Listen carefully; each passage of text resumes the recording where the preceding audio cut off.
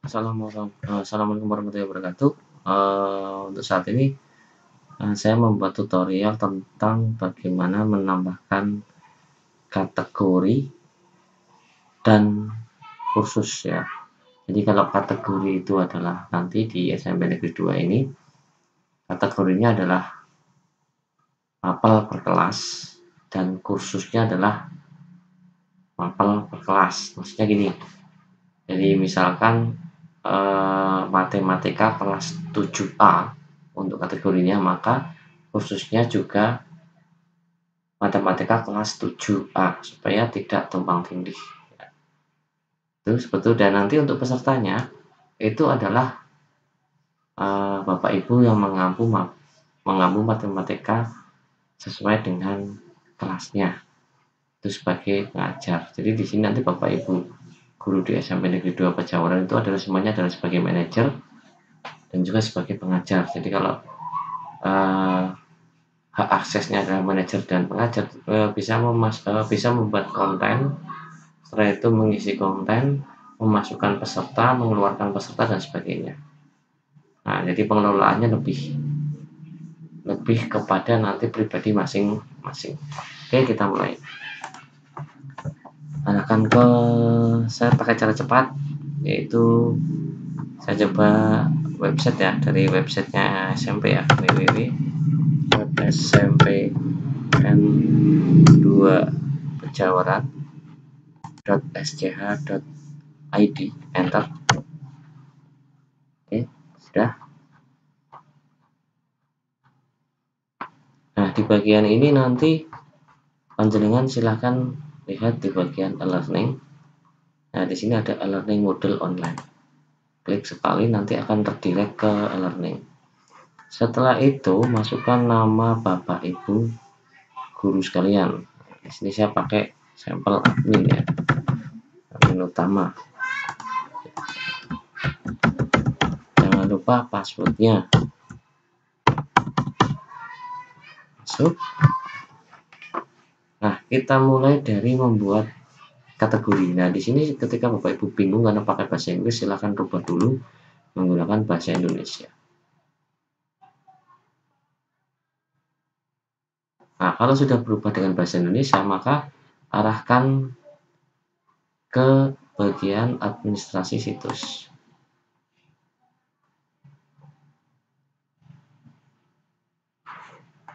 Oke, sudah. Nah, di administrasi uh, di administrasi situs nanti ada beberapa menu. Nah, yang kita cari adalah menu kursus ya. Oke. Setelah kita masuk ke menu kursus, silahkan uh, tambah atau ubah kursus. Cari menu tambah atau ubah kursus. Nah, di sini saya akan buat kategori baru ya. Di sini ada dua ada dua kolom nanti kalau misalkan pakai netbook nanti kalau sisanya ada di bawah ya. Cari aja scroll di bawah. Nah di sini ada kategori khusus. Kita buat kategori baru lagi kategori baru dulu dengan tombol buat kategori baru. Jangan di miscellaneous ya. Ini untuk sistem eh, apa ya dasarnya defaultnya di sini. Nah kita buat baru saja. Buat kategori baru klik sekali Nah, di kategori induk ini kita ganti menjadi atas. Kita masukkan nama kategori. Nah, di sampel saya saya menggunakan matematika. Ya, kategorinya adalah kelas 7A. Ya. Besarkan semua saja matematika kelas 7A seperti ini. Terus untuk ID kategori itu tidak usah diisi. Yang perlu adalah keterangannya. Nah ini kita copy aja dari atas. Salin. Paste atau tempel. Setelah itu membuat kategori. Cari tombol membuat kategori.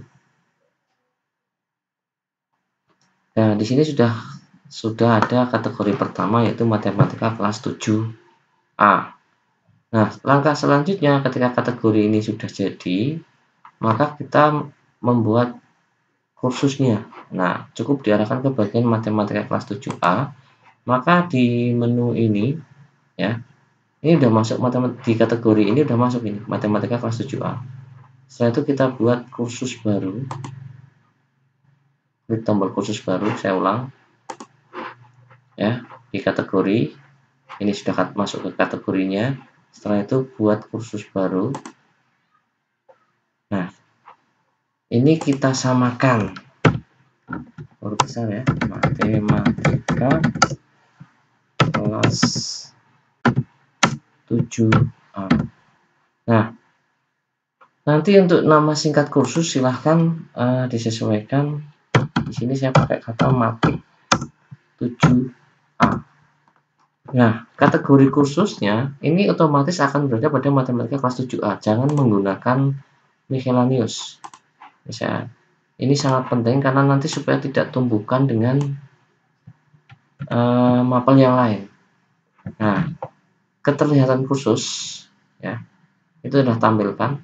Nah tanggal mulai kursus itu dimulai mulai tanggal 29 Juni 2020 ya ini bisa disesuaikan monggo mau pembelajarannya mau mulai kapan jamnya jangan lupa di sini saya pakai uji coba mulai jam 7.00 sampai tanggal berakhir kursusnya atau pembelajarannya dalam satu semester misalkan Juni 2021 pukul 23.00. Nah, selebih dari itu, nanti tanggal 29 Juni 2021 pukul 11, maka kursus ini sudah sifatnya terhidden atau tersimpan. Tidak bisa diakses oleh siswa, hanya bisa diakses oleh guru dan admin. Itu. Nah, jangan lupa tombol checklist aktifkan. Nah, di keterangan ringkasan kursus, silahkan disamakan dengan nama lengkapnya saja. seperti ini kalau mau ditambah logo silahkan tapi saya pikir tidak usah. Setelah itu simpan dan kembali. Nah kita coba cek di beranda situs. Nah ini akan terlihat matematika kelas 7A ya oke. Cek ke beranda situs matematika kelas 7A ini kita klik ya. Kita akan masuk ke dalamnya. Nah, ini tampilannya seperti ini.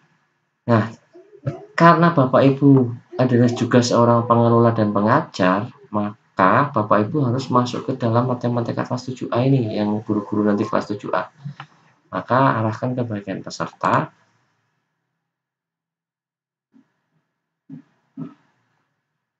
Nah, setelah itu silahkan cari tombol enroll user. Ingat, matematika kelas 7A, peserta, cari tombol enroll user tunggu sesaat. Oke. Nah kalau sudah di sini ada tiga pilihan. Select user select cohort assign role. Maksudnya adalah ketika kita memilih secara manual satu orang maka kita bisa mencarinya di bagian menu atas. Kalau kita memenuh ingin memilih secara pemfolderan atau dalam satu pengelompokan maka kita pilih cohort. Nah karena di sini Bapak Ibu guru adalah seorang pengajar, maka tidak semua pengajar akan masuk ke dalam kursus yang Bapak Ibu kelola. Kecuali itu sifatnya tim. Misalkan, misalkan matematika berarti ada matematika Bapak Ibu misalnya mengajar kelas 7A atas nama sekian. Nanti ingin memasukkan temennya. Maka kita bisa cari secara manual. Jangan memasukkan secara cohort ya. Jadi kalau milih yang bawah, maka semua guru ini akan terpilih entah itu matematika yang ngajar matematika bahasa Indonesia dan sebagainya jangan dipilih maka option kita adalah di bagian yang select user. Nah di sini karena pengajarnya 7A adalah Pak Purnomo maka saya pilih Purnomo cukup ketikan huruf ya awal nah di sini akan ada pilihan. Karena dia akan mencari berdasarkan abjad ya. Nah di sini pakai Purnomo SPD Oke, sudah. Nah, assign role-nya. Kalau nanti di sini tertulis siswa, nanti Bapak Ibu jadinya siswa. Maka kita ganti menjadi pengajar. Jadi Pak Purnomo ini sebagai guru nanti untuk mengajar di kelas matematika kelas 7A. Nah, setelah ini sudah, maka silahkan enroll selected user. Nah, bagaimana dengan siswa? Nanti siswa juga sama, hanya akan berbeda tekniknya. Oke, kita masukkan. Jadi kita memasukkan diri kita sendiri ya, diri kita sendiri ke dalam kursus kita. Nah, enrollnya adalah sebagai pengajar. Enroll selected user. Oke, maka di sini nanti akan uh, ada peserta satu, berarti gurunya ya. Nah, di sini panjenengan sebagai pengajar, manajer, dan pembuat kursus. Nah, ini semua pengelolaan dan sebagainya itu ada di panjenengan semua. Oke, di situ uh, ini udah jadi. Ya, di sini tulisan matik 7. Nanti tinggal kita mengisi uh, apa topik-topiknya ya untuk aktivitasnya. Nah, saya akan coba lagi buat yang uh, 7B dan 7C ya. Oke, kita masuk beranda. Administrasi situs. Nah, di sini kita masuk ke kursus. Tambah atau ubah kursus. Kita ulang sambil mengulang.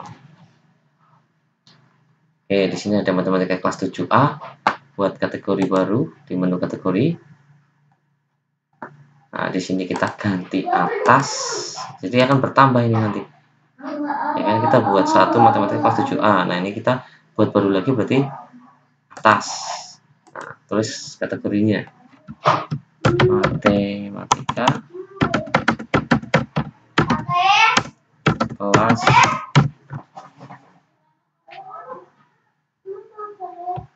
7B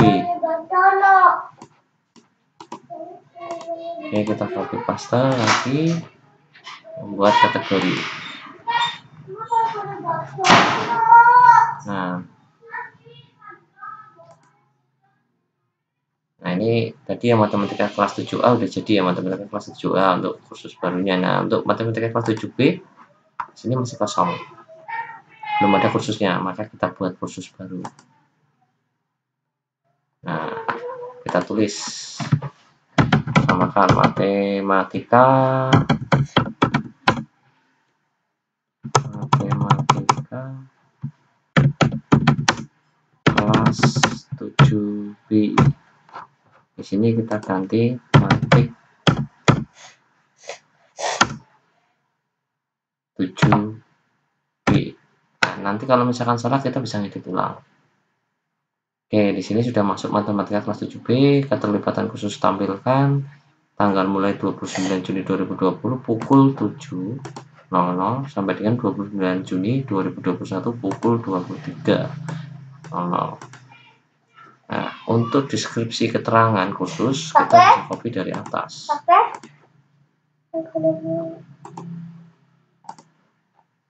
Oke, turunkan ke bawah, saya itu simpan dan kembali.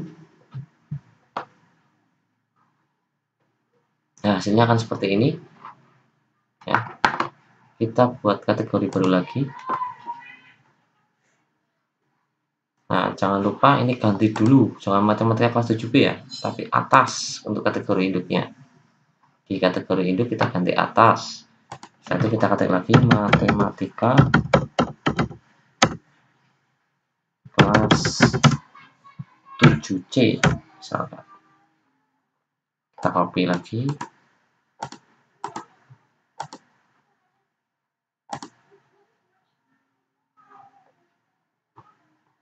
Oke, sudah. Nah, masuk ke directory ya, kategori kelas 7C. Ini klik sekali. Setelah itu kita buat, nah, di sini ada keterangan matematika kelas 7C di kursus, buat kursus baru. Tulis di atas.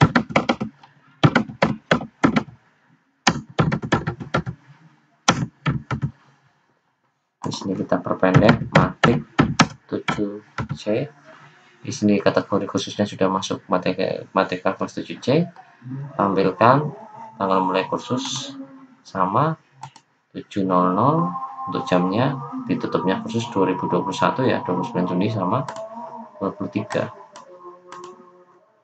nah, jangan lupa copy. Nah misalkan masih ada kekurangan bisa diedit lagi. Simpan dan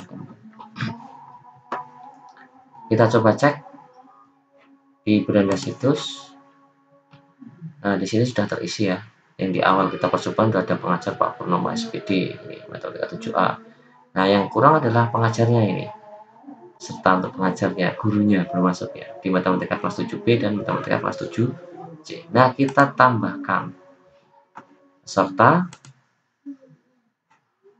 setelah itu enroll user ganti dulu menjadi pengajar cari di menu select user bukan select cohort ya select user ketik nama panjenengan tambahkan. Setelah itu enroll selected user and cohort oke ini sudah. Untuk kembali kita masuk atau cari beranda situs lagi. Nah di sini sudah keluar ya pengajar Pak Purnomo untuk matematika kelas 7B nah matematika kelas 7C sekarang. Nah di sini ada matik 7C serta kita tambahkan untuk pengajarnya ya. Berarti itu catatannya adalah pengajarnya dan jaringan piambak ya. Oke, pengajar. Di sini kita ketik di select user.